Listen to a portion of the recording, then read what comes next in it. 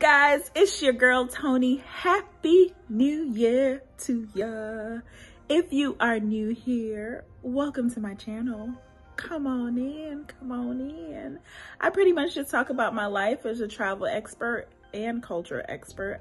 I have traveled to over 30 countries, over 35 states, and just have picked up some tips and tricks along the way. And people always ask me, how do I do it? So for those of you that don't know, I am a flight attendant, but I mastered this travel thing before I became a flight attendant. I actually do less personal traveling as a flight attendant.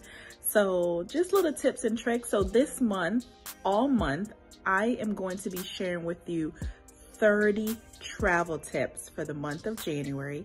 And I've decided to call it TTT. You know why? Toni's Travel Tips.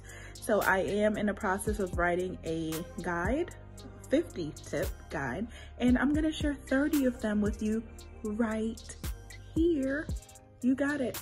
So the guide will be available later on in the year, but at least you'll have this video as reference until then. And hope you guys support the guide when it comes out. It'll, it'll be less than five bucks, guys.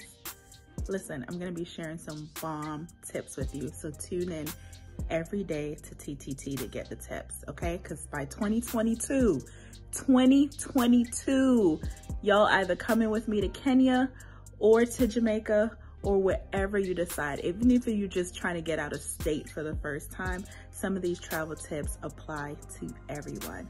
All right, so stay tuned if you're interested in travel tip number one.